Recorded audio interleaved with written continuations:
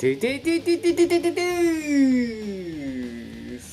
バレットのボーカルそして告白のボーカル D ロアンティーヌのボーカル星野壮太でござソロ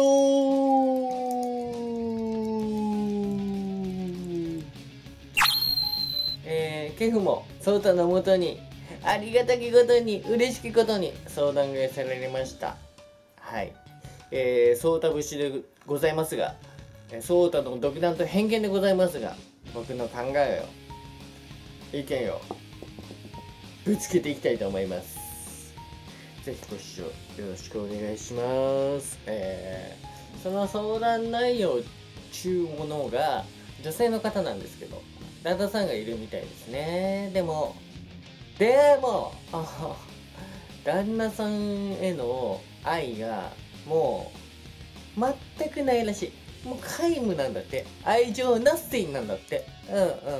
まあねあのー、メールの内容をねすごいあのー、よくよく読んでね真剣に真摯に、えー、受け止めてちゃんと読んだらねあのもともとうん一緒になった時から愛情なかったみたい。うん。じゃあなんで結婚したかっていうと深いあの話になっちゃうんだけどね。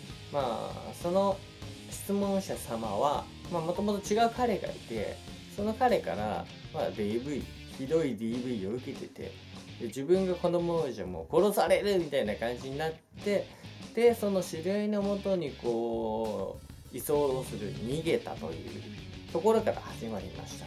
で同棲が始まって居候が始まってうんそれでまあまあ当然ほら逃げ場で行ったわけじゃない。だから愛情はなかった。それでもまあ守ってくれる相手だったし思ってくれる相手だったからまあ徐々に徐々に、うん、そういう感情が生まれたのかな、うん、それで、まあ、席を入れて今はその方が旦那さんとなってました。でももともと愛してて一緒になったわけじゃないからまあ、今はもう愛情がなしに愛情皆無らしいですよね。うん、それでその質問のそのどうしたら円満に別れられるか、うん、それを颯太君に聞きたいっていうことでございますね。はい、まあ単純明快ですよね。うん、嘘偽りなく自分の気持ちをちゃんとぶつけることですよ。うん、会話会話が何より大事。うん。だから、一方的に自分の気持ちを押し付けるのも強要するのもダメ。もうあんたが嫌いだから別れますみたいなのはダメ。それは会話じゃないからね。うん。会話っていうのはお互いの気持ちを冷静な気持ちになって話し合うことです。うん。喧嘩して頭がもう沸騰してる時ってさ、心にもないこと言っちゃったりするじゃない。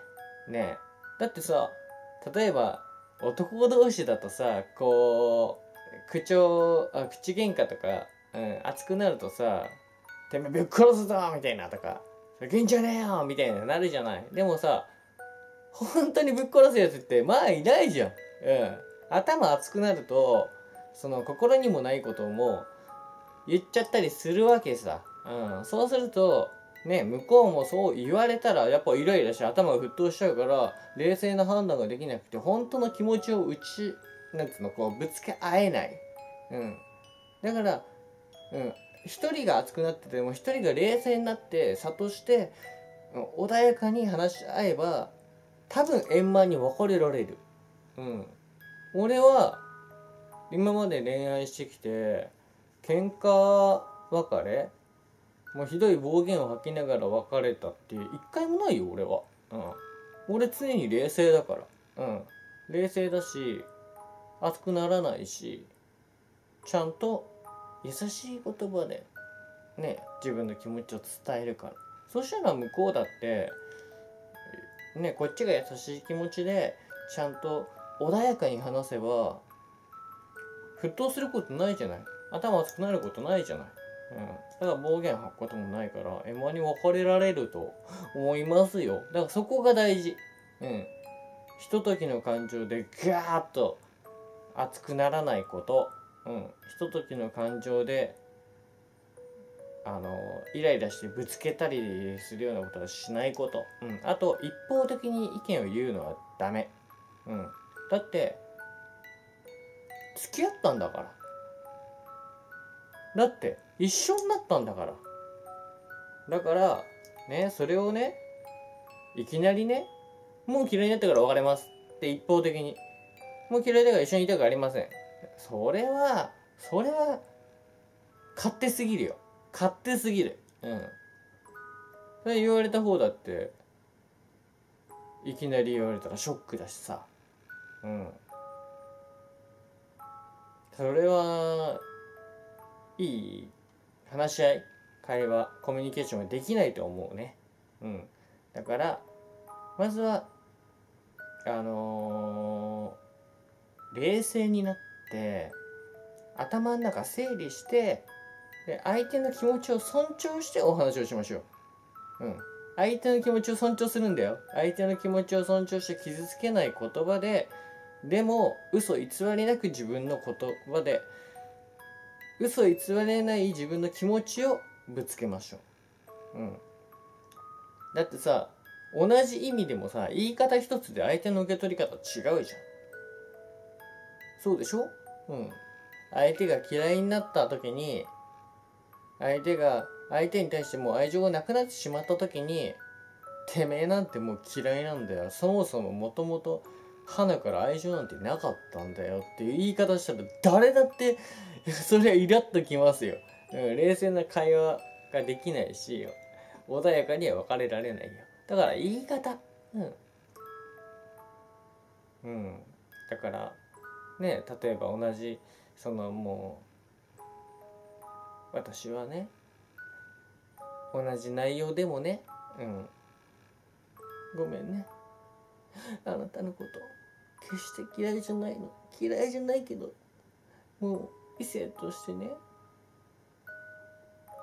きっていう感情がなくなってしまってこのまま付き合ってるとあなたに失礼だし私自身も自分が許せないの。他に好きな人ができてしまった。っていう伝え方だと冒頭に言ったのと全然違うでしょ。うん。だから言い方に気をつけることだね。それがうん。